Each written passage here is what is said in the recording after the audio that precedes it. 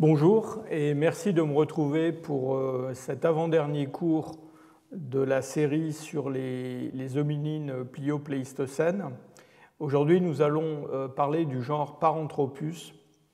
C'est ce qu'on appelle les australopithèques robustes et j'aurais pu euh, donner à ce cours un titre interrogatif du style Les paranthropes existent-ils ou Que sont les paranthropes euh, j'espère quand même vous convaincre que les paranthropes existent à la fin de ce cours.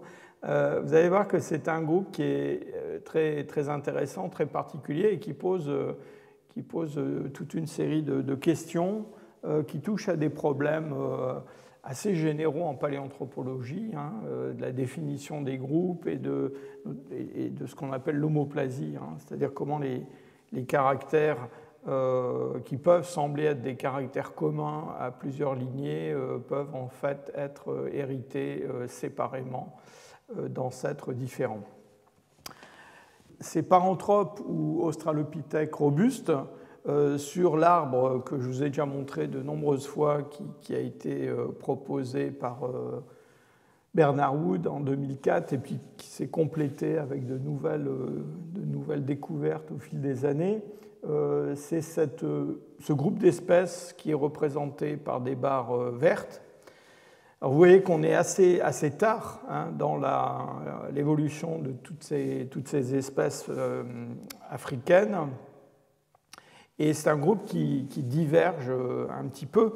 Alors, d'abord, sur le terme robuste, il, faut, il, faut, bien s'entendre.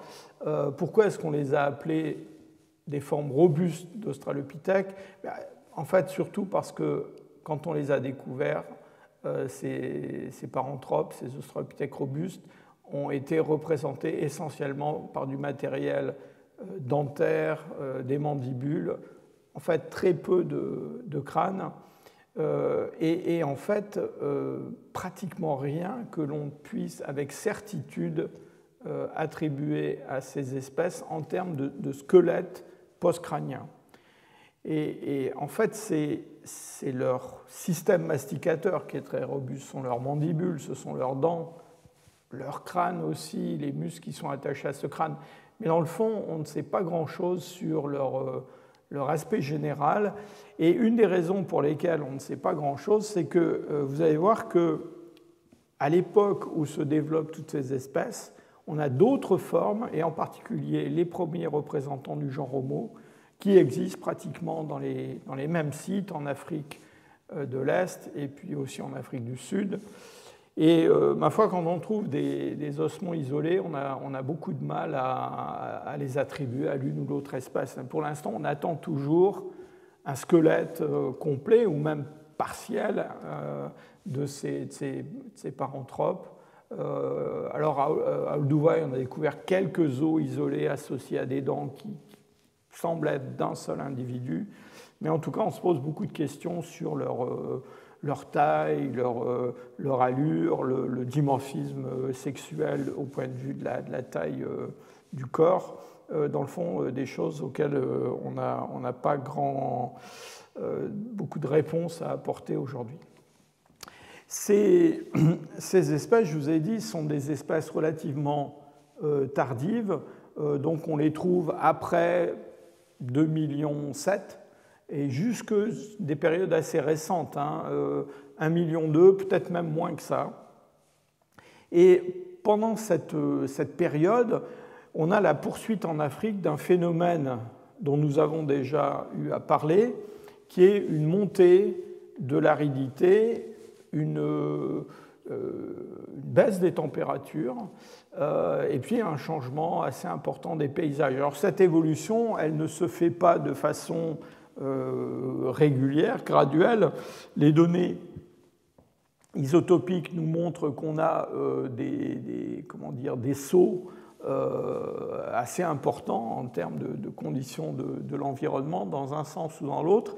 Mais quand on regarde les carbonates des sols euh, est-africains, on voit très très bien que euh, le, carbone 13 dans ces, dans ces sols a, tendance à, dévier de plus en plus dans une direction qui nous indique des, conditions plus sèches, plus arides.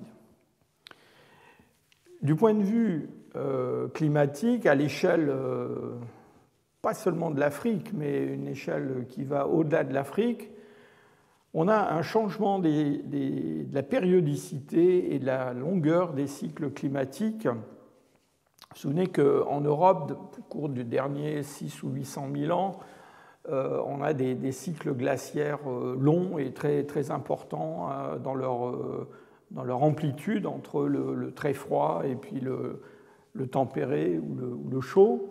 eh bien, quand on remonte dans le temps, on a des, cycles climatiques qui ont des durées différentes, et cela c'est dû à l'importance plus ou moins grande des différents paramètres astronomiques qui, dans le fond, déclenchent ces, cycles climatiques. Euh, au-delà de 3 millions d'années en Afrique, c'est surtout euh, le cycle de précession des équinoxes, qui est un cycle autour de 20 000 ans, euh, qui influe les fluctuations climatiques. Et puis, à partir de 3 millions d'années, on va passer à des cycles où euh, c'est une, périodicité de 40 000 ans à peu près qui va, s'imposer. Et puis, donc, euh, après un million d'années, des cycles encore plus longs. Alors, en fait, tous ces cycles se, superposent. Hein. Le cycle de précession des équinoxes, surtout dans les latitudes proches de l'équateur, euh, reste un cycle qui est très, très important. Et ce qui se passe pendant toute cette période de temps du point de vue des, hominines, eh c'est qu'ils vont avoir à, s'adapter à ces, changements environnementaux euh, et en particulier à répondre à des, sortes de, pulsations. Euh, alors il y en a une euh, qui se passe à peu près entre, 2 millions et, entre 3 millions et 2 millions 6, puis il y en aura une encore plus tardive.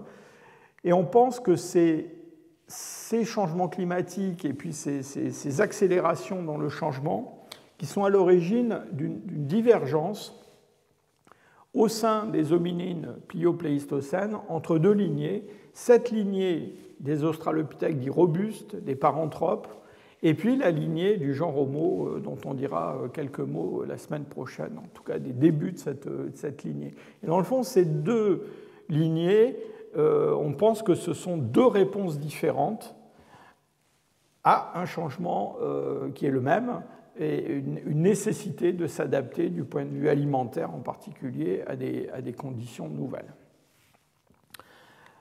En Afrique euh, du Sud, les australopithèques dits robustes sont attribués à une espèce qui a été baptisée Paranthropus robustus, vous vous souvenez certainement que c'est une, une, espèce découverte par, euh, par Broom euh, et qui a été ensuite découverte dans plusieurs sites, d'abord à Chrome Dry et puis ensuite dans d'autres sites. Et on a euh, en Afrique euh, du Sud toute une série de sites où on a trouvé ces, espèces d'Australopithèques robustes. Alors, on avait créé plusieurs espèces, en particulier une espèce euh, Paranthropus crassidens qui a été ensuite réunie avec l'espèce Paranthropus robustus.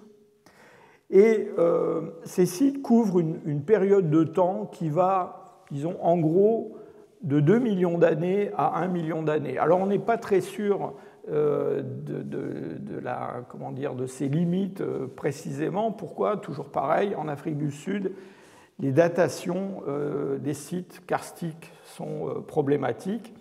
Et notamment, on s'interroge sur le moment de l'extinction de ces derniers paranthropes. Alors on a avancé différentes dates, 1 million 2, 1 million 100, 1 million.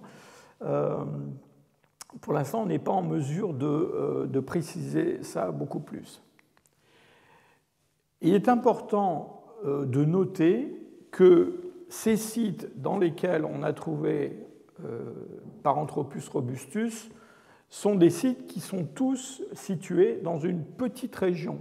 C'est ce fameux berceau de l'humanité hein, euh, qui est un site touristique, et c'est aussi un site où on a tous ces, gisements très importants, qui se trouve euh, dans la région de Pretoria, euh.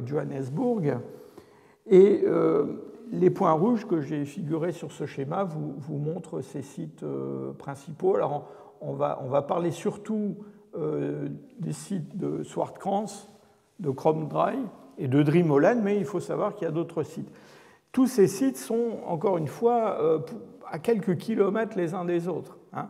Donc on a vraiment une, petite fenêtre géographique qu'on peut, euh, ouvrir et, voir ce, qui s'est passé là euh, pendant un million d'années pour observer ces, espèces. Mais évidemment, cette espèce, excusez-moi, mais évidemment, il faut bien imaginer que même à l'échelle de l'Afrique du Sud, il y a eu d'autres régions où on avait certainement des, des paranthropes euh, qui vivaient.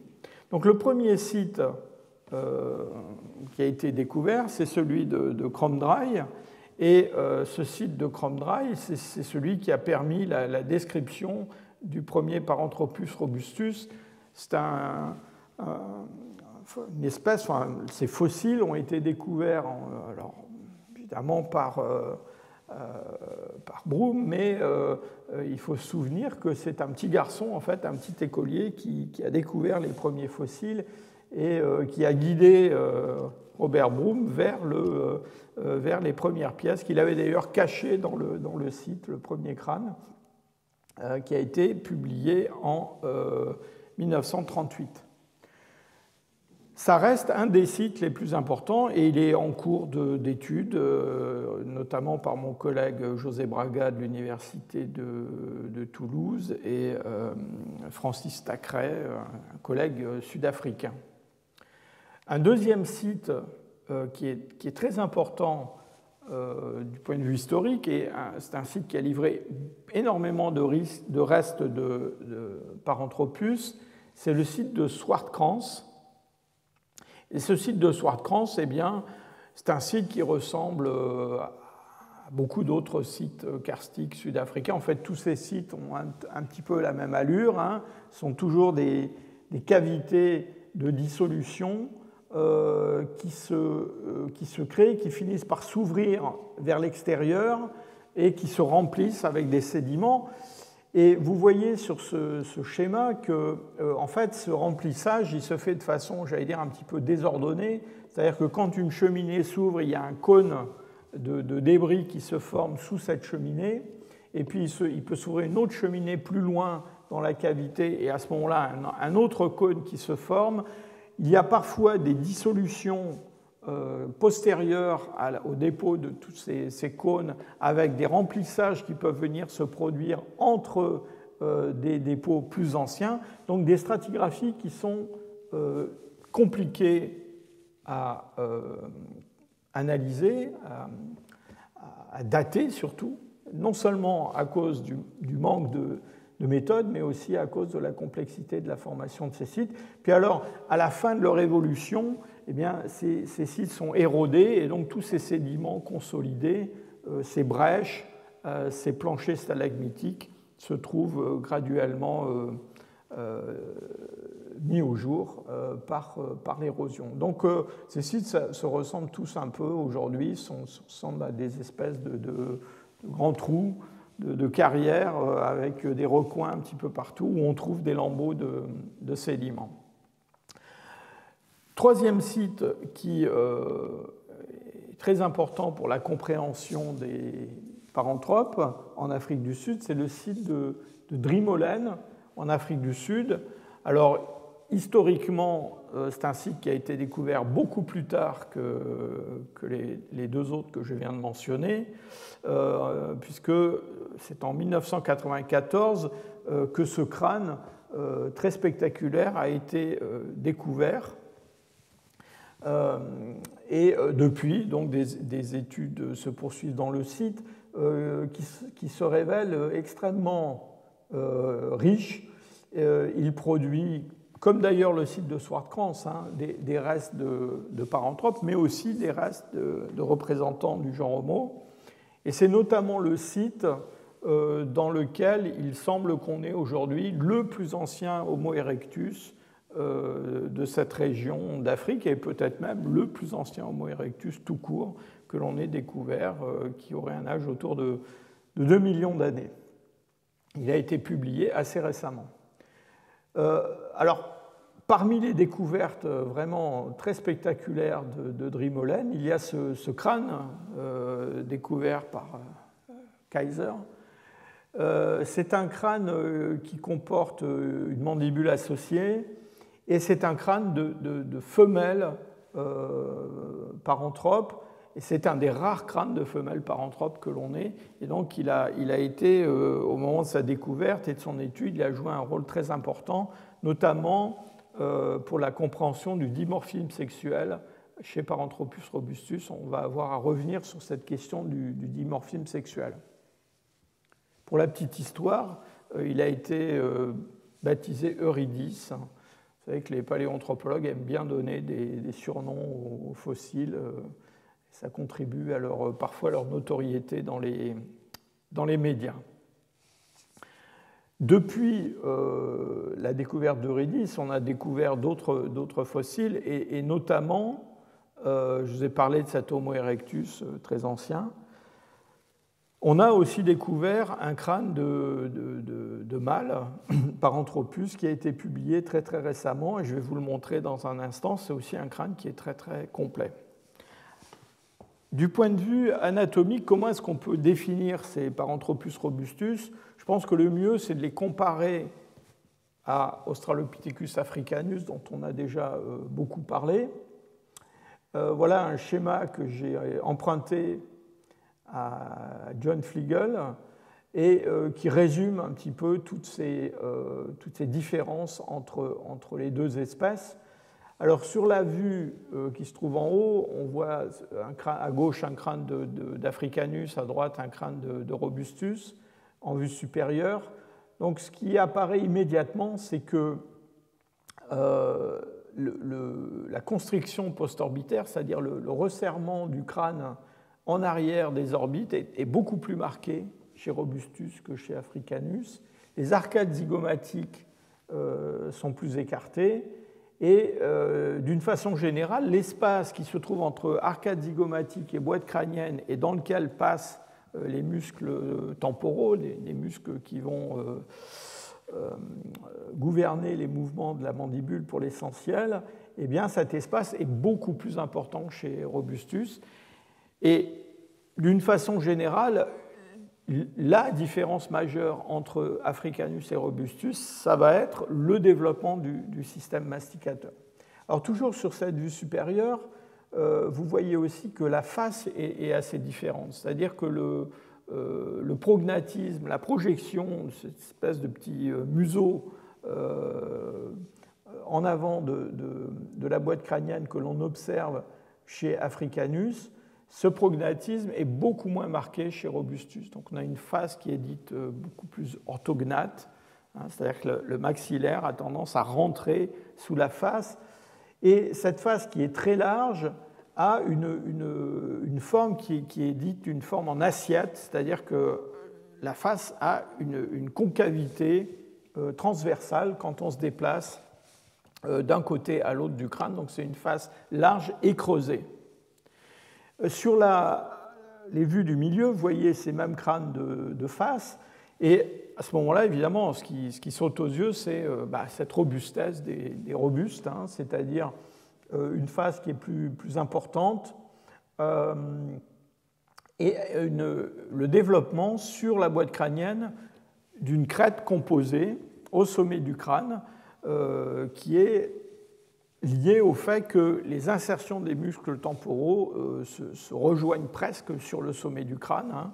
et donc, euh, c'est dans cet espace entre ces muscles que se développe cette crête, alors que les lignes temporales sont plus écartées euh, chez un, Africanus. Et sur les vues latérales, bon, vous voyez à peu près la même chose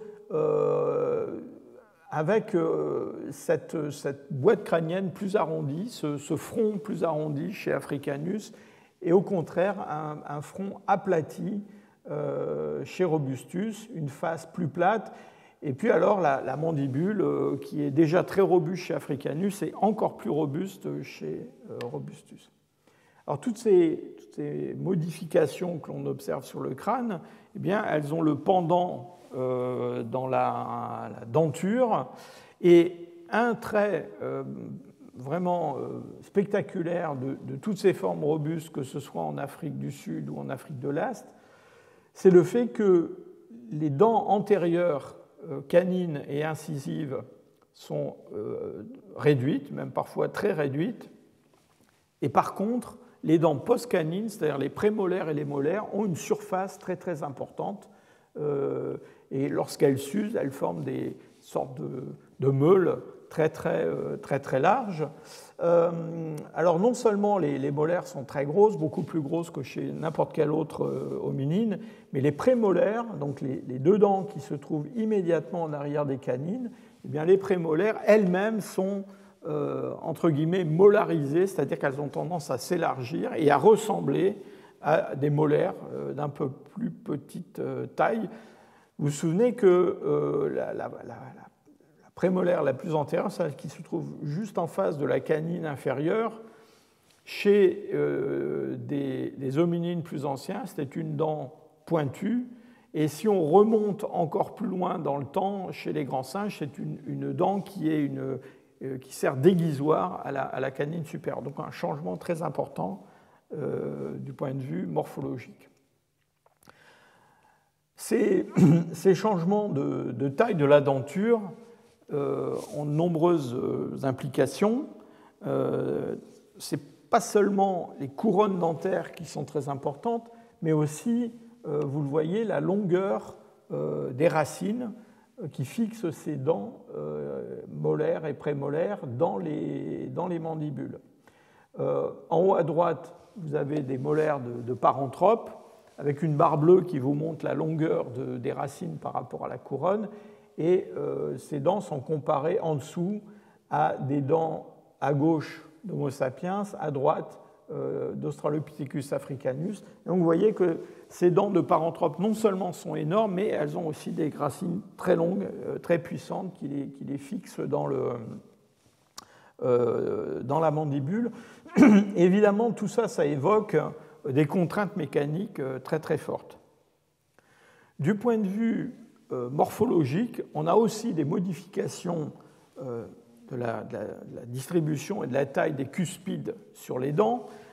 Et on observe euh, chez Paranthropus robustus l'apparition de, cuspides supplémentaires, c'est-à-dire qu'au lieu d'avoir, comme chez les autres hominines, 5 ou 4 chez les, hommes récents euh, cuspides, eh bien, on a euh, sixième, septième cuspide qui se, développe.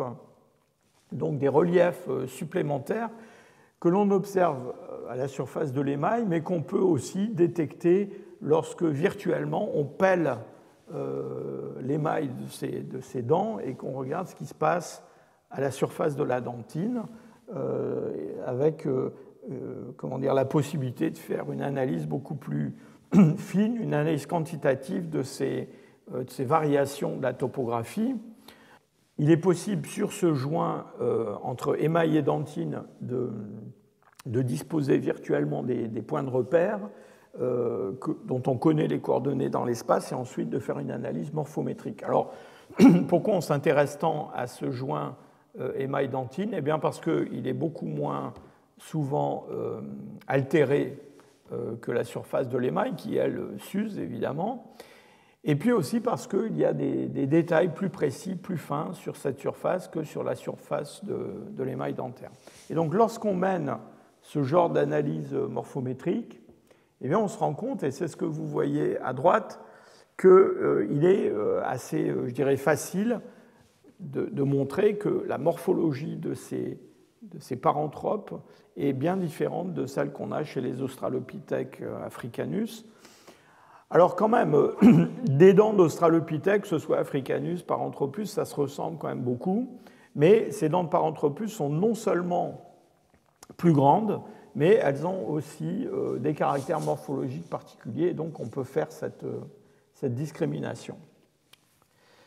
Alors les dents sont, très intéressantes hein, des tas de points de vue parce que sont des tissus qui ne se remodèlent pas au cours de la vie de l'individu, qui enregistrent tout un tas d'événements. et notamment des événements au cours de leur, de leur croissance. Hein. Donc, dès que des germes dentaires commencent à se développer dans le maxillaire et dans la mandibule, eh bien, on a des événements, des stress biologiques, mais aussi des, des influences chimiques qui peuvent être enregistrées dans des tissus qui se forment par accrétion. Et comme ils se forment par accrétion, eh bien, on peut essayer de déterminer le rythme de cette, de cette accrétion et donc se faire une idée euh, de la vitesse de croissance des individus pendant leur, euh, leur plus jeune âge, en tout cas, hein, tant qu'ils sont en train de, développer cette, denture. Cette étude vient d'être publiée par Christopher Dean et ses collaborateurs, et c'est l'étude d'un d'une troisième molaire, donc la dernière euh, molaire qui, se forme chez un paranthrope euh, de, de Swartkrans. Et euh, cette, cette, étude a permis pour la première fois de vraiment mesurer le rythme de croissance et de se faire une idée non seulement de l'âge à laquelle cette dent était complètement terminée avec ses racines quelque part entre 11 et 14 ans, mais aussi de, de faire une estimation vraiment de la vitesse de croissance euh, globale de, cette, de cet individu. Et on a des, des données, et c'est ce que montre le, graphique euh, euh, qui se trouve en haut à droite, on a des données qui sont des données qui rapprochent en fait en termes de, de modèles de croissance cette espèce plutôt de ce qu'on a chez les grands singes que ce que l'on a chez les hommes, c'est-à-dire une, croissance et une maturation qui est beaucoup plus rapide. Du point de vue euh, du cerveau, euh, ce qu'on a chez ces, paranthropes en termes de, valeur, de, volume, euh, sont des valeurs qui sont au-dessus des valeurs qu'on a chez les grands singes, comme chez les, Australopithecus africanus, donc disons autour de 450-500 cm3 de volume. Mais vous voyez que bien que ces paranthropes soient euh, plus tardifs que presque tous les australopithèques dont on a parlé jusqu'à présent, eh bien, conservent des valeurs qui sont à peu près identiques à ce qu'on a évoqué jusqu'à présent, qui sont des valeurs inférieures à ce qu'on a chez les premiers représentants du genre Homo, qui sont ces ronds euh, verts euh, au-dessus des, paranthropes. Alors on a essayé de discerner si au sein des paranthropes, euh, on pouvait observer un accroissement de cette capacité crânienne, mais en fait, euh, disons, avec le matériel dont on dispose, c'est quelque chose qui n'a pas été possible de, démontrer. Donc, on a quand même plutôt l'impression d'une stase. Il y a des changements qui se produisent, mais ça, ne concerne pas vraiment l'encéphale. Une question qui a beaucoup intéressé les, chercheurs qui ont travaillé sur ce groupe, c'est la question du dimorphisme sexuel. Euh, ces crânes que, je, vous ai montrés sont des crânes avec des, un système de, crêtes euh, très euh, spectaculaires qui évoquent un peu ce qu'on a chez les grands singes, chez un gorille, chez un orang-outan. on a des faces qui sont extrêmement puissantes. certains de ces individus euh, sont vraiment très très euh, spectaculaires par la robustesse de leur système masticateur et de leur, de leur face. Il y a quelques années, on a envisagé qu'il y avait en fait euh, dans ces espèces un, mode de développement qui était un peu comparable à ce qu'on a chez les orang-outans par exemple. on parle de bimaturisme. Ce bimaturisme, c'est le fait que chez les mâles, après le début de la maturité sexuelle, eh ben, il se produit encore des changements. Et euh, on a des, mâles qui deviennent euh, des espèces de, super mâles, alors que euh, d'autres conservent une taille un peu plus petite. Et, chez les orang-outans, on sait que c'est lié aussi au mode de reproduction, savoir comment ces, mâles ont accès aux femelles le dimorphisme sexuel, il est très marqué dans les espèces comme les gorilles, où on a un mâle qui est associé à un petit euh, harem de, plusieurs euh, femelles. Donc on a essayé de, détecter ça chez ces paranthropes, et il y a une étude qui est parue en 2007 qui indiquait qu'on avait bien en termes de, taille de la face des changements chez les mâles en fonction de leur âge. Alors cet âge, il était estimé eh bien, par l'usure dentaire, donc en gros les, individus les plus âgés, ceux qui avaient les dents les plus usées, c'était aussi ceux qui avaient les maxillaires, les mandibules les plus euh, importants. Euh, donc on a appuyé ça sur des, mesures sur euh, un certain nombre d'individus, alors essentiellement de Swartkrans. Et pour les femelles, cet individu de Drimolen que je vous ai montré tout à l'heure, Eurydice, évidemment, a joué un rôle très très important. Ce que vous voyez sur cette image du, bas, c'est à gauche euh, cette, euh, femelle de Paranthropus robustus euh, de Drimolen, et ensuite trois individus de Swartkrans qui sont d'âge différents, ça c'est ce que nous dit leur usure dentaire, et cette ligne blanche horizontale mesure la hauteur du maxillaire sous la cavité nasale, et vous voyez qu'au cours du temps, on a effectivement apparemment cet accroissement de la, euh, de la, de la taille du maxillaire.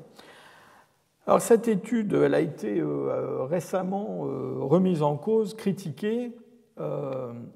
Pourquoi? Eh bien Parce qu'on a découvert à Drimolen un autre crâne, pas très loin de celui d'Eurydice, qui est lui le crâne d'un mâle. Et ce mâle, c'est un mâle qui est relativement âgé parce qu'il a des dents usées, mais il ne présente pas cette très grande taille, euh, cette très grande robustesse que, euh, que les, les, plus gros individus de Swartkrans ont. Alors, entendons-nous bien, il est bien différent du crâne de, la, femelle, il est beaucoup plus grand, euh, enfin beaucoup plus gros, il est robuste, mais encore une fois, il est, euh, il est très en dessous de ce qu'on pourrait imaginer compte tenu de, cette usure dentaire, si on accepte cette hypothèse de bimaturisme.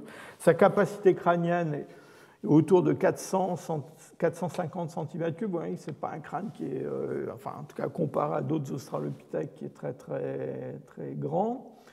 Et donc, euh, euh, l'étude de ce crâne a conduit les, auteurs à rejeter cette, hypothèse de bimaturisme euh, avec l'argument suivant lequel les différences qu'on observait entre les, fossiles de Drimolen et ceux de Swartkrans, ce n'était pas du dimorphisme sexuel, ce n'était pas la femelle à Drimolen et des mâles à Swartkrans.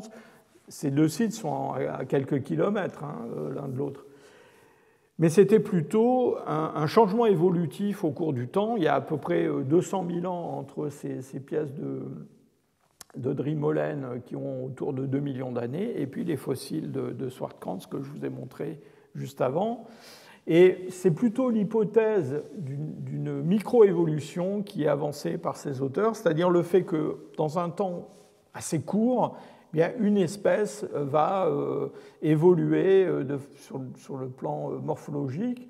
Alors dans, le, cas présent, ce qui est mis en avant sont des changements environnementaux. On a en Afrique du Sud depuis à peu près 2,6 millions une, un passage à des conditions plus, plus arides, mais entre 2 millions et 2 millions, eh bien, s'installe une sorte d'instabilité environnementale hein, avec des, des alternances euh, plus, euh, euh, plus humides, plus sèches, qui sont plus, plus rapides que ce qui se passait auparavant. Et donc, l'idée, c'est que cette, cette, instabilité qui a, qui, a, qui a, entraîné ces changements assez rapides. Donc, on, aurait des, des, conditions différentes à Swartkrans et à Drimolen à cause simplement du fait que ces sites n'ont pas exactement le même, le même âge. Alors, c'est quand même important de souligner qu'on ne peut pas mettre uniquement sur le dos de la sélection et de l'adaptation ces, différences. Pourquoi? Parce que les différences qu'on observe entre ce fossile de Drimolen et puis les fossiles de Swartkrans, ce ne sont pas uniquement des différences qui seraient liées au système masticateur et à l'adaptation à des conditions euh, différentes. Il y a aussi d'autres petites différences euh, qui montrent que peut-être il y a de la dérive génique, il y a peut-être euh, autre, autre chose.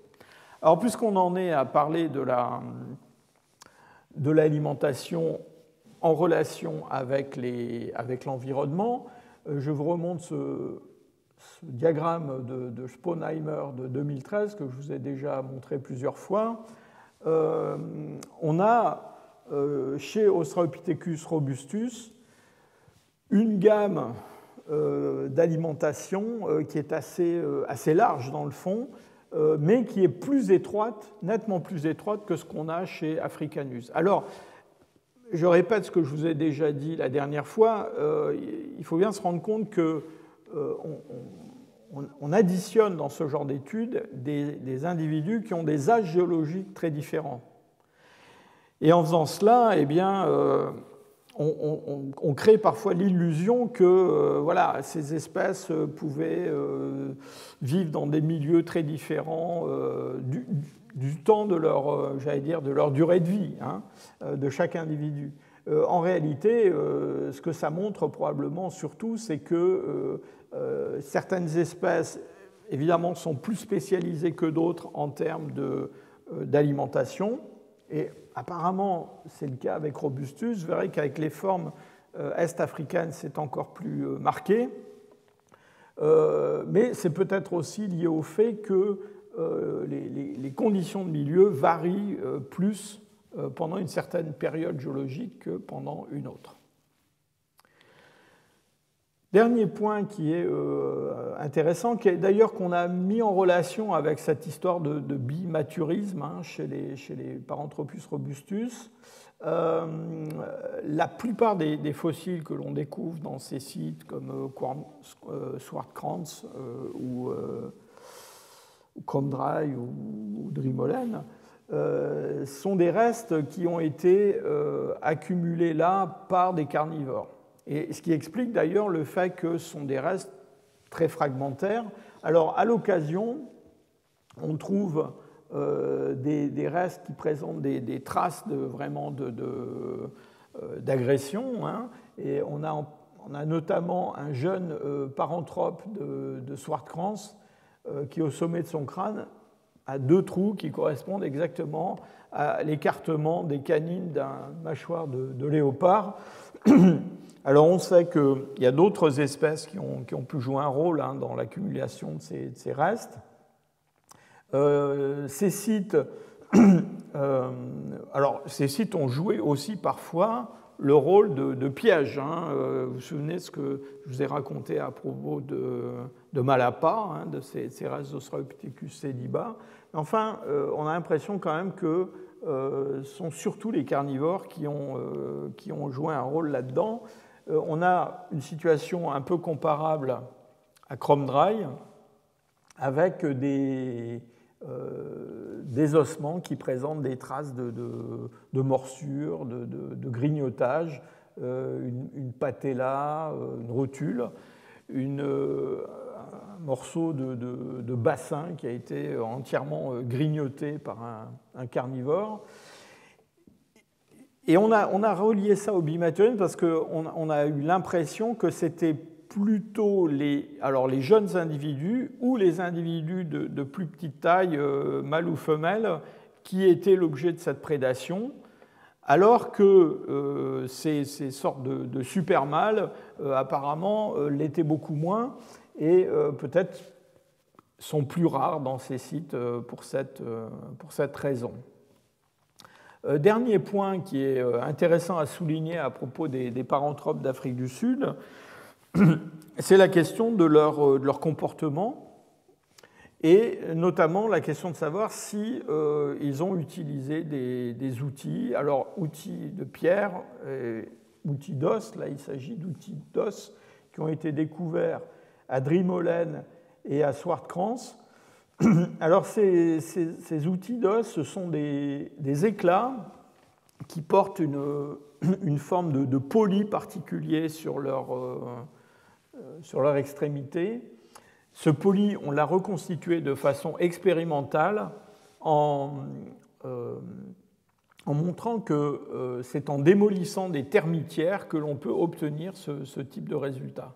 Et l'idée, c'est que ces outils en os ont servi à acquérir des termites. Vous savez que les, chimpanzés euh, utilisent eux-mêmes des outils pour pêcher les termites à l'intérieur des termitières, hein, des, baguettes d'os qu'ils plongent dans les, trous de la termitière.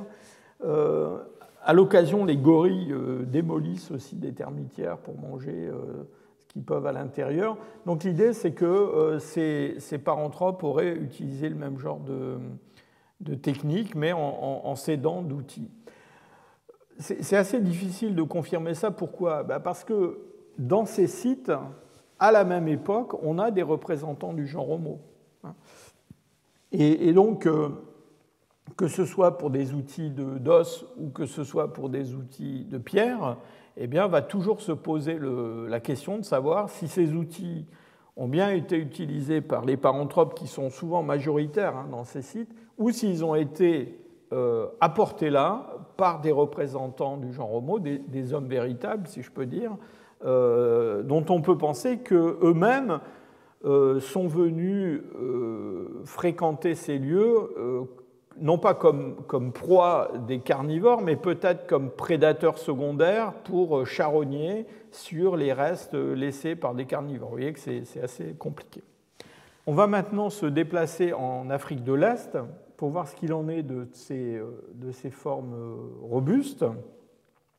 Alors en Afrique de l'Est, on a euh, toute une série de sites qui les ont livrés et qui les ont livrés sous la forme de deux espèces différentes. Alors, une espèce qui est la, la, plus connue, la, la plus représentée, Paranthropus boisei, et puis une autre espèce plus ancienne, Paranthropus ethiopicus. Euh, euh, ces, fossiles couvrent euh, un espace de temps assez long, environ depuis 2,7 millions d'années jusqu'à au moins 1,2, peut-être moins, donc une, période de temps assez longue. Ce sont des fossiles qui ont été découverts d'abord en Tanzanie, et puis on en a trouvé aussi euh, en Éthiopie, on en a trouvé au Kenya, euh, et puis euh, plus récemment, on en a trouvé près du lac Malawi, donc beaucoup plus au sud. Donc là, on est presque à mi-chemin avec l'Afrique du Sud. Et vous voyez que le long de cette rive vallée, on, imagine assez bien ces espèces se dispersant dans des environnements qui peuvent être parfois un petit peu différents et euh, ça pose la question de savoir quel est le, centre d'origine de toutes ces formes robustes et la question de savoir si, euh, dans le fond, ce qu'on a en Afrique du Sud, ça n'est pas une, sorte d'extension euh, des formes est-africaines qui sont, pour certaines, nettement plus anciennes. Le fossile qui est probablement le plus, le plus célèbre, c'est celui de d'Olduvai, euh, du site euh, FLK dans le bed 1. Euh, c'est un fossile qui est celui pour lequel on a créé le terme Zinjanthropus boisei, qui ensuite a été transformé en Paranthropus boisei. C'est un, un, spécimen qui a été découvert en 1959 et euh, évidemment qui a, euh, dès qu'on a pu l'étudier, le, décrire, a montré euh, un certain nombre de, similarités avec les formes robustes sud-africaines, en particulier la taille très importante du système masticateur et de la denture. Alors en réalité, on avait déjà trouvé avant 1959 des restes de Paranthropus boisei il s'agissait de dents euh, déciduales, une, canine et puis une, seconde molaire supérieure déciduale, mais qui en 1955 n'avait pas vraiment été euh, identifiée de façon très très certaine, mais historiquement c'est le premier boisei qui a été découvert en réalité. Alors, du point de vue, comment dire, morphologique, on retrouve dans ces formes euh, est-africaines un grand nombre de caractères euh, que j'ai décrits euh, sur Paranthropus robustus, mais je dirais ils sont exagérés chez Boisei. En particulier, la, taille des dents postcanines est, est réellement exceptionnel. on a aussi un épaississement de l'émail qui était déjà présent chez Robustus, mais vous allez le voir qui est encore plus marqué chez Boisei. Puis il y a certains petits caractères un peu, un peu différents. Par exemple, le foramen magnum est en position très très avancée sous le crâne, ce qui d'ailleurs suggère qu'on a une, une, comment dire, une, posture parfaitement euh, euh, bipède, verticale. Hein. Euh, la position du foramen magnum sous le crâne de, Boisei est presque aussi avancée que ce qu'on aurait chez un, homme actuel. Après la découverte de Paranthropus boisei à Olduvai, on l'a trouvé dans d'autres sites, hein, je vous l'ai déjà indiqué. Euh, je vous rappelle la mandibule euh, du lac Natron, euh, qui est une très très, très, très belle mandibule, très, très, très, très bien conservée. vous voyez sur cette mandibule non seulement la robustesse générale de l'os, mais aussi cette denture tout à fait extraordinaire, avec des dents antérieures très réduites, des molaires énormes, des prémolaires qui sont molarisés, et puis sur l'os, cette, branche montante de la mandibule qui est réellement euh, euh, très très haute, euh, très importante. Et donc tout ça, évidemment, ça nous, ça nous indique encore une fois qu'on a une, un système masticateur extrêmement puissant qui est adapté au broyage de nourriture extrêmement, comment dire, dure ou, fibreuse en tout cas quelque chose d'assez particulier qui demande cet outil masticateur euh, très important.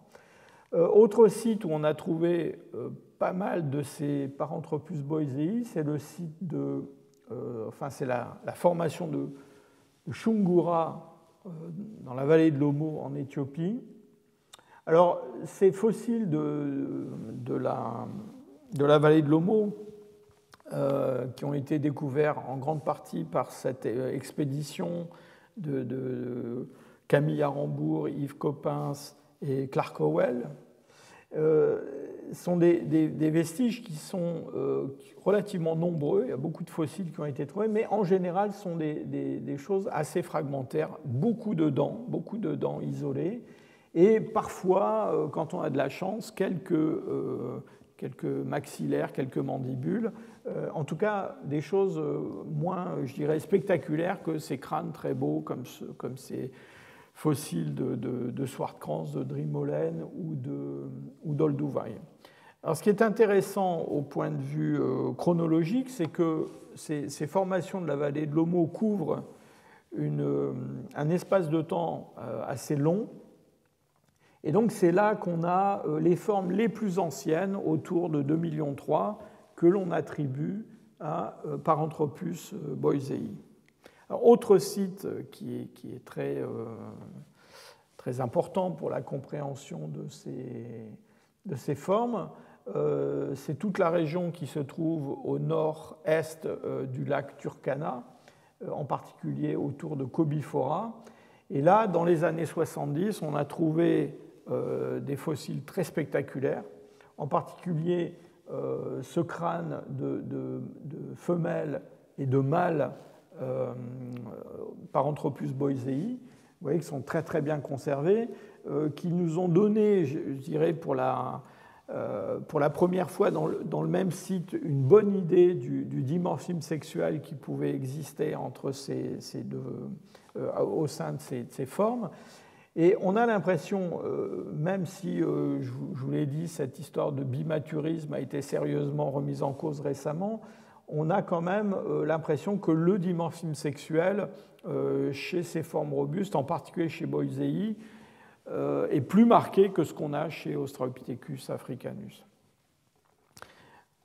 Quelque chose qui est important à propos des, des, niveaux autour de 1,6 million, 1,8 million, 1,9 million autour de Cobifora, c'est que ces mêmes niveaux qui livrent ces euh, Paranthropus boisei livrent aussi euh, des représentants du genre Homo. Donc on a à nouveau un petit peu le même, la même situation que ce qu'on avait en Afrique du Sud, euh, à Swartkrans ou à Drimolen. Hein. on a ces deux formes d'hominines très différentes. Et euh, alors, je vous ai expliqué que ça posait des problèmes quand on trouvait notamment de l'outillage, savoir qui l'avait euh, fabriqué. Euh, et toujours pareil, quand on trouve des os post-crâniens isolés, on est bien en peine de les attribuer à l'une ou l'autre espèce. Dernier fossile que, je voudrais, ou plutôt site que je voudrais mentionner, c'est le site de Konso en Éthiopie. Alors ce site du début de la, dépression de la Far. C'est un site, euh, c'est un de ces sites où on a trouvé le plus récemment des, des avec le, lac Malawi. Euh, et on a trouvé à, à on a trouvé un crâne qui est, un crâne, euh, malheureusement il manque la partie supérieure de la face, mais qui est un crâne quand même très très complet ce crâne, il est très intéressant parce que d'abord, euh, quand on l'a trouvé, donc ça c'était avant, comment dire, Eurydice, hein, c'est la première fois qu'on a trouvé un Paranthropus avec crâne et mandibule associés, une.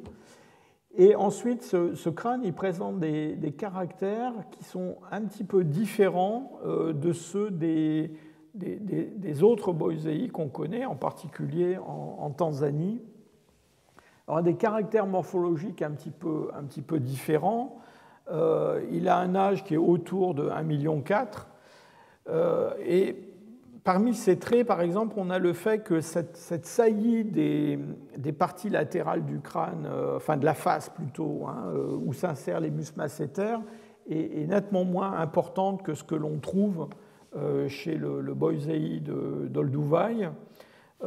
La, crête composée qui se trouve au sommet du crâne, euh, elle, est, plus développée en arrière euh, que ce que l'on trouve chez les, autres formes de Boisei. Ça, c'est quelque chose qui rappelle euh, des formes plus anciennes d'Australopithèques, comme Afarensis, par exemple. Et puis, par certains traits anatomiques, ce, Boisei de Konso, il, remplit aussi un peu le, euh, le vide morphologique entre les formes d'Afrique du Sud et les, formes d'Afrique de, l'Est. Et donc, ce qui, est, intéressant avec ce crâne, qui par ailleurs est le plus grand crâne de, Boisei qu'on connaisse, point de vue taille générale, euh, c'est que dans le fond, il nous indique qu'il euh, y a peut-être une beaucoup plus grande diversité au sein même de ce que l'on attribue à Boisei que ce qu'on a bien voulu penser quand on avait uniquement sous la main ce magnifique crâne de, euh, d'Olduvai. Alors je reviens sur quelques, quelques détails euh, anatomiques de ces formes est-africaines. Donc voilà le, euh, le crâne d'Olduvai, OH5. Alors vous voyez que le système masticateur est absolument énorme on voit euh, cette, disparité entre le développement des dents post-canines et le développement des dents antérieures qui était déjà présent chez, Robustus, mais là qui est exprimé de façon euh, vraiment euh, spectaculaire. On, on, lui a donné le surnom de, casse-noisette hein, à, ce, fossile, hein, à cause de ce, système masticateur très, très, très puissant. On a étudié euh, tout un tas d'aspects de son, euh, ses détails anatomiques, euh, en particulier l'épaisseur et la structure de l'émail dentaire. Vous voyez sur ces, images ici que Boisei, qui est représenté en, bas à droite au sein de ses, molaires, ses, secondes molaires inférieures, eh bien, Boisei, c'est celui qui a l'émail dentaire le plus épais, hein, comparé à euh, Australopithecus anamensis, Afarensis ou Africanus. Donc on a, euh, je dirais chronologiquement, un accroissement de l'épaisseur de l'émail quand on va d'Anamensis jusqu'à Boisei. Et puis lorsqu'on regarde à l'intérieur de cet émail dentaire comment sont disposés les prismes d'émail et comment ils sont enchevêtrés parfois, on se rend compte qu'il y a des, microstructures qui euh, contribuent au renforcement, à la résistance euh, de cet émail dentaire. Donc on a non seulement des dents post-canines qui sont très développées, non seulement un émail dentaire qui est euh, très épais, mais aussi une structure même de, l'émail qui est un petit peu modifiée.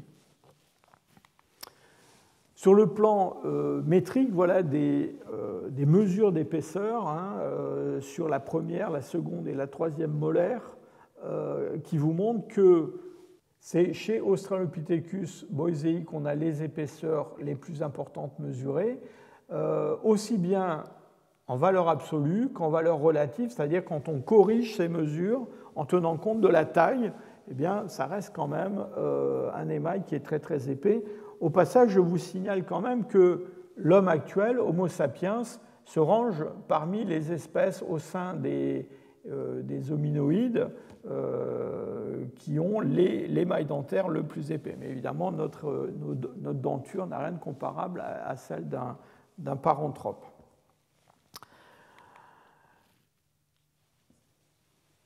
Dans la vallée de l'Homo, je vous ai dit qu'on avait les plus anciens euh, Paranthropus boisei. On a des niveaux au-delà de, de 2,3 millions et même bien au-delà. Et dans ces niveaux-là, on a découvert euh, un fossile euh, qui, dans le fond, ne rentre pas euh, dans la variation morphologique de ce qu'on connaissait à l'époque chez Australopithecus et chez Paranthropus. Et donc en 1967, Arambourg et Coppens, pour cette, mandibule qui est, édentée, hein, malheureusement les couronnes dentaires sont brisées, ont créé une nouvelle espèce euh, et même un nouveau genre qu'ils ont baptisé Paraustralopithecus ethiopicus. Le, presque australopithèque, à côté des australopithèques d'Éthiopie. Euh, pourquoi? Eh bien, En particulier parce que vous voyez que la forme de la, euh, de l'arcade dentaire est assez particulière et assez différente de ce qu'on a chez les, chez les paranthropes en général. C'est une, arcade dentaire qui est beaucoup plus en V euh, que ce que je vous ai montré euh, jusqu'à présent. Alors cette, euh, cette espèce Paraustralopithecus ethiopicus, bon, elle est restée un petit peu dans les, dans les cartons, si je peux dire.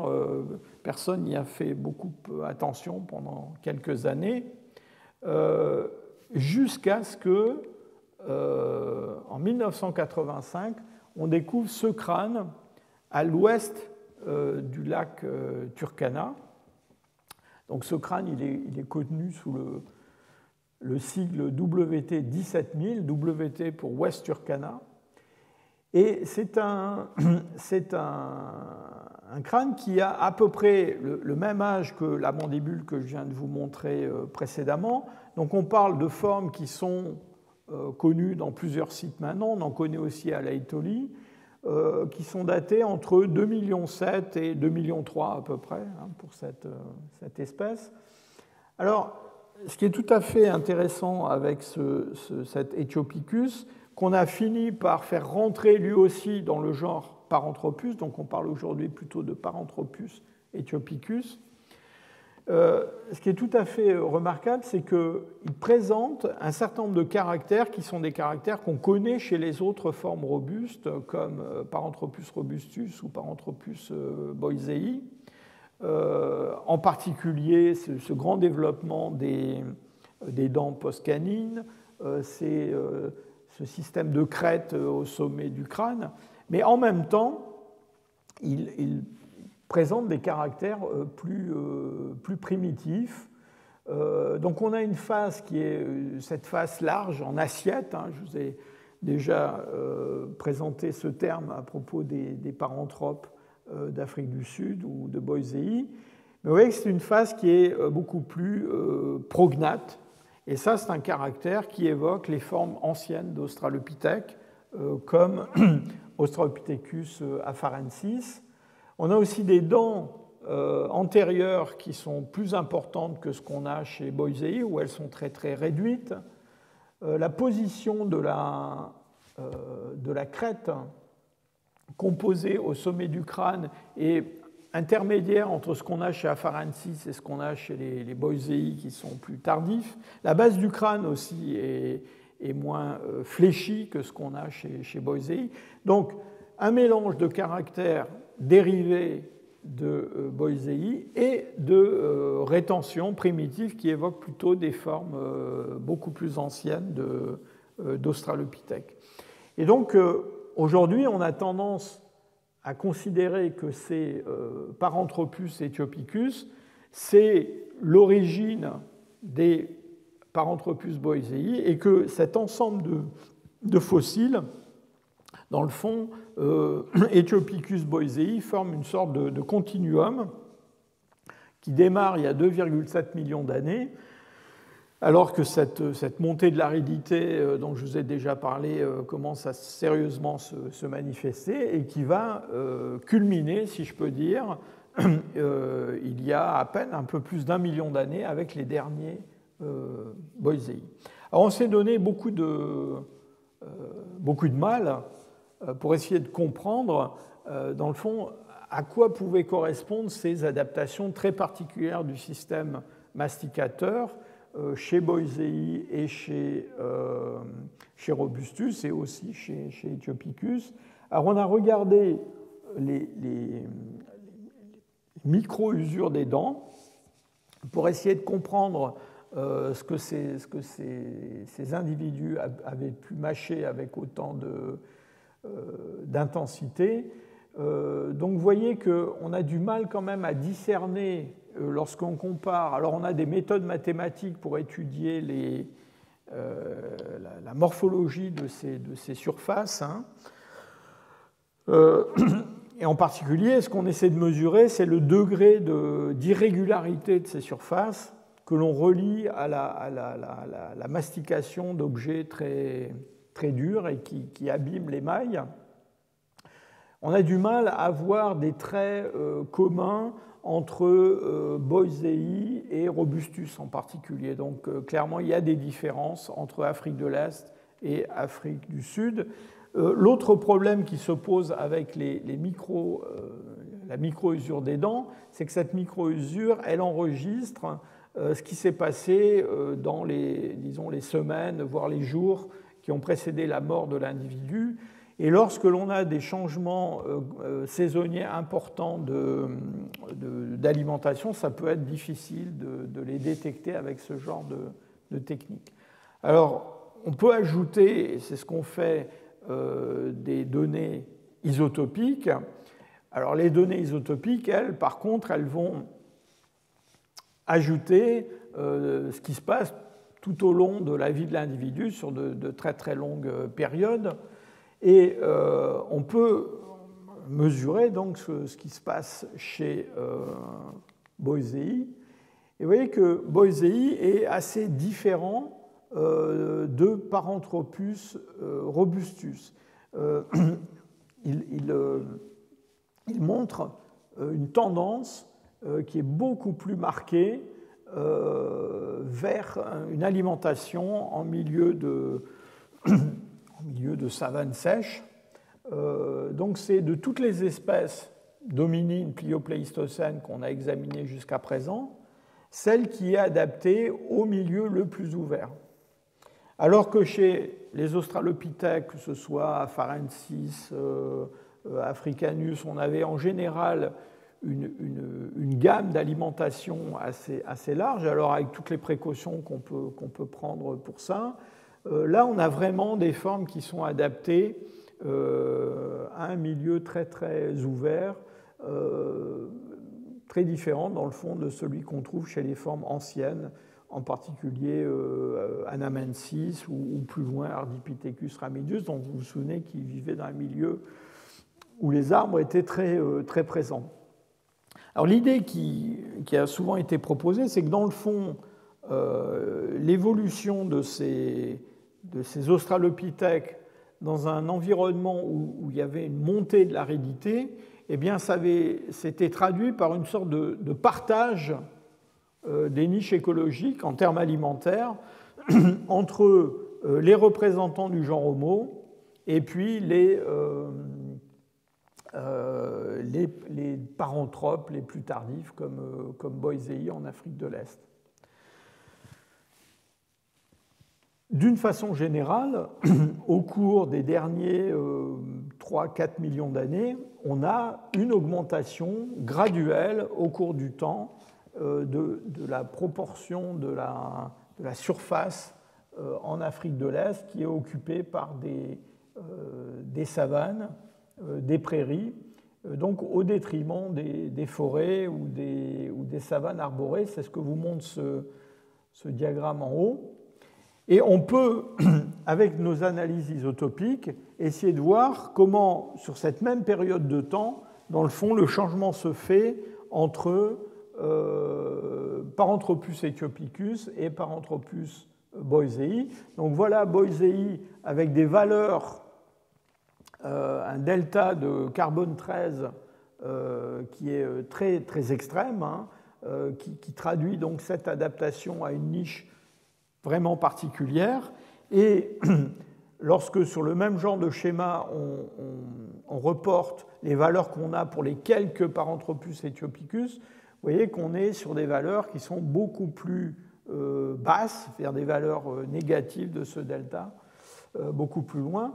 Et donc, on a, vraiment l'impression que ce, changement d'alimentation, il est lié à ce changement environnemental, et que non seulement on a un changement d'alimentation, mais on a un changement morphologique à l'intérieur de cette lignée entre ces formes qu'on appelle Etiopicus et ces formes qu'on appelle euh, Boisei.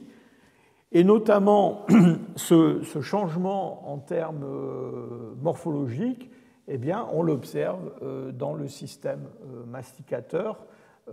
lorsque l'on prend, par exemple, la surface des, dents post-canines, eh bien, on voit qu'on a une corrélation assez forte entre la surface des dents post-canines et le delta de carbone 13, c'est ce que vous montre ce, diagramme là en haut, avec Paranthropus boisei qui présente les valeurs les plus extrêmes, aussi bien pour les valeurs isotopiques que pour la taille de ces dents post-canines, et Etiopicus qui est euh, en retrait, même si par rapport aux autres forme dominine pliopléistocène, il est lui aussi décalé dans cette direction.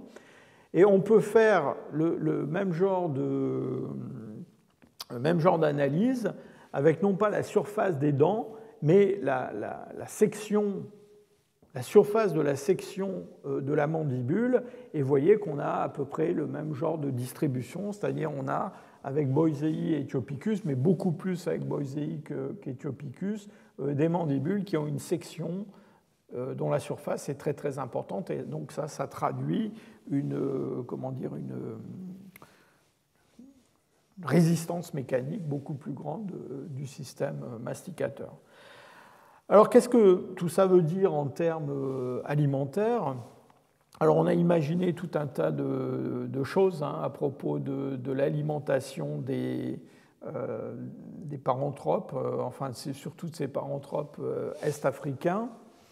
Euh, ces, valeurs extrêmes en, C14 euh, sont des valeurs qui correspondent à des milieux où, dans le fond, euh, la ressource principale, ben, c'est l'herbe. Hein. Il n'y a pas d'arbres. donc on a imaginé que ces, ces paranthropes, ben, ils étaient capables de manger de l'herbe, ils mangeaient peut-être des graines. on a imaginé aussi des plantes euh, alors à proximité de l'eau, des plantes aquatiques euh, genre euh, jonc, choses comme ça, les papyrus, l'intérieur, ils ont une, comment dire, une, une, pulpe qu'on peut, peut manger. on a aussi imaginé qu'ils pouvaient se nourrir de, de, choses très dures du genre noix, enfin tubercules, des organes de, de plantes euh, souterrains, hein, euh, des, organes de stockage, euh, rhizomes, racines, choses comme ça. Donc quelque chose de très très comment dire très résistant qui demande une, une, grande insistance du système masticateur pour être, pour être digéré. Mais je vous rappelle ce qu'on a vu tout à l'heure avec les termites. Hein. Euh, ces termites, si elles vivent elles aussi dans des environnements qui sont des environnements de savane, eh bien, euh, les, espèces qui vont les consommer vont délivrer le même signal en termes isotopiques et les mêmes valeurs de, carbone 13, parce dans le fond, toutes ces valeurs, elles nous renseignent plus sur l'environnement où l'alimentation est extraite que sur la nature exacte de cette, cette alimentation. Enfin, je vous livre cette, reconstitution de, Paranthropus boiséique qui est assez belle et qui est assez euh, impressionnante. Alors ce qui est intéressant euh, à souligner, c'est que euh, cette tendance à avoir un, système masticateur très, très développé, qui est donc la, dire, la marque de, fabrique des, paranthropes, bah, c'est quelque chose qu'on trouve aussi dans des formes dont on ne sait pas trop quoi faire et je vous montre à nouveau cet Australopithecus euh, gari euh, de la Wash en Éthiopie, qui a un âge euh, autour de 2,5 millions d'années. Et cet Australopithèque gari, bon, clairement, ce n'est pas un paranthrope, il n'a pas ce système de crête sur le crâne, il n'a pas cette, cette face de, de paranthrope très, très spectaculaire. Mais quand on regarde sa denture, c'est une denture qui est une denture qui est euh, extrêmement particulière, avec là encore un développement très important euh, des dents postcanines. Euh, vous avez en bas à droite l'arcade dentaire d'un Australopithecus gari qui est comparé avec ce qui est au-dessus, c'est-à-dire un Australopithecus afarensis. Et vous voyez qu'on a à nouveau dans cette espèce cette réduction des dents antérieures euh, ce développement euh, des dents postcanines, euh, cette molarisation des prémolaires.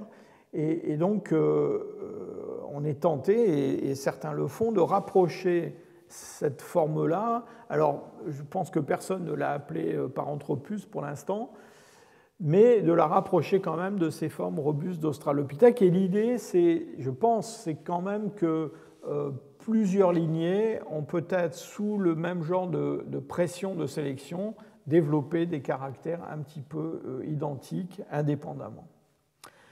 Alors, dernier euh, problème euh, qui nous, reste à, traiter, c'est la question de l'interprétation de ces formes. Donc, on a des fossiles sud-africains qui ont été découverts il y a très longtemps, euh, qui viennent un petit peu, je dirais, du point de vue chronologique, euh, en bout d'évolution des Australopithecus africanus qu'on connaît euh, dans des sites de la même région. Et puis on a en Afrique de l'Est. Alors là, en Afrique de l'Est, on a une lignée qui est, j'allais dire, un peu plus claire, si je peux dire. Pour la plupart des auteurs, même si d'autres hypothèses ont été proposées, Paranthropus ethiopicus c'est le prédécesseur de Paranthropus euh, boisei. Et vous avez vu que chez Paranthropus euh, ethiopicus, il y a des caractères qui rappellent Australopithecus afarensis, qui est connu dans les mêmes régions. Donc l'idée, c'est que, disons, à partir de 2,7 millions, on a quelque chose qui s'est détaché euh, de formes plus anciennes d'Australopithèque, les cousins de Lucie, et qui a évolué euh, vers une adaptation de plus en plus euh, spécialisée dans ces, milieux ouverts avec un régime alimentaire euh, très particulier. Donc la question essentielle qui se pose, c'est la relation entre ces formes sud-africaines et les formes est-africaines. Et là, on a deux schémas qui sont des schémas phylogénétiques complètement différents. Le schéma de gauche, c'est un schéma où Paranthropus est un genre monophylétique, c'est un vrai genre, c'est-à-dire qu'on a, à partir de formes d'Australopithèque anciennes, d'avant 3 millions d'années, on a un développement de, euh, de ces formes, alors probablement d'abord en Afrique de l'Est, Paranthropus ethiopicus, et puis une évolution locale qui va donner Boisei, et puis le long de cette évolution, à un moment donné, vers 2 millions d'années, euh, eh bien, une expansion vers l'Afrique de l'Est. Euh, et donc, euh, ce sont ces, ces, Paranthropus robustus qu'on trouverait en Afrique de l'Est. Et puis l'autre hypothèse qui a été proposée, c'est une hypothèse qui est complètement différente. Elle, dans le fond, elle fait de Paranthropus un genre complètement artificiel, paraphylétique, hein, disent les, paléontologues. C'est-à-dire qu'on a bien notre évolution en Afrique de l'Est à partir d'Afarensis vers les formes robustes, mais on aurait en Afrique du Sud une évolution similaire à partir d'Africanus. Donc en gros, les, euh, comment dire, les, euh, paranthropus euh, d'Afrique du Sud et les paranthropus d'Afrique de l'Est n'auraient pas grand-chose en commun à part le nom qu'on leur aurait donné. Pourquoi? Parce qu'ils partageraient des caractères communs, mais ces caractères communs auraient été acquis indépendamment simplement pour s'adapter à des conditions de milieu un petit peu euh, similaires. Donc, en gros, la question qui se pose, c'est la question de savoir euh, si on a à l'origine des paranthropus sud-africains, euh, des formes comme celles qui sont présentées ici à gauche, c'est-à-dire des australopithèques d'Afrique de l'Est, ou si on a une origine locale au sein d'Africanus. Alors je vous, je vous rappelle que euh, euh, on a déjà discuté de cette relation possible entre des formes de Sterkfontein qu'on attribue à des australopithèques graciles. Euh, alors Ron Clark les, appelait Australopithecus prometheus, hein, en particulier ce crâne STW 252 où il avait euh, décrit un développement des, dents postcanines en particulier, puis quelques caractères faciaux qui, rappelaient les caractères des, des, australopithèques euh, euh, robustes. Et donc, on a cette, hypothèse que c'est une évolution locale. Alors, je, pense que le problème de cette mettre sur le dos de, l'homoplasie, c'est-à-dire d'une forme de convergence, euh, les similarités entre euh, Paranthropus boisei et Paranthropus robustus, euh, pose quand même problème. Et ça pose problème pourquoi? Eh bien, Ça pose problème parce que dans presque toutes les analyses cladistiques, c'est-à-dire quand on prend tous les caractères dont on dispose et que l'on essaie de de les analyser en minimisant l'homoplasie, c'est-à-dire en faisant preuve de, parcimonie, c'est ce qu'on fait dans ces, analyses cladistiques, eh bien, on obtient presque toujours des analyses où le genre Paranthropus apparaît comme monophylétique. Donc, ça, c'est un exemple. C'est cette, étude qui vient de sortir il y a très peu de temps sur euh, les, le, paranthrope de, de. Hein, et donc c'est une analyse euh, bon, euh, cladistique un petit peu sophistiquée, mais qui montre un résultat qu'on a obtenu déjà dans, dans, pas mal d'autres analyses de ce, de ce type-là. C'est-à-dire que euh, Paranthropus boisei apparaît comme le groupe frère d'Ethiopicus. Alors, groupe frère, euh, dans une analyse cladistique, ça peut vouloir dire que l'un est l'ancêtre de l'autre. Hein. Euh, et cet ensemble est-africain apparaît comme le groupe frère des, paranthropes sud-africains.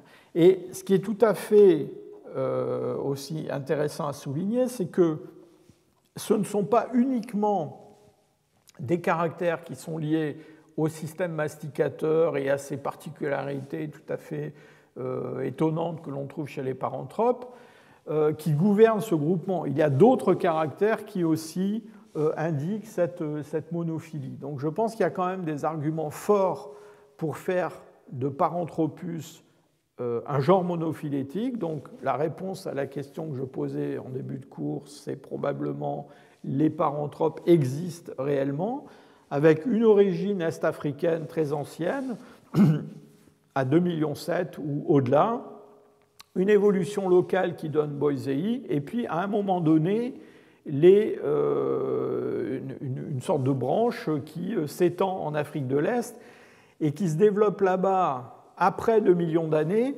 à un moment où les Africanus sont, euh, je dirais, un petit peu en, perte de vitesse et, où, les, derniers Africanus vont, vont disparaître.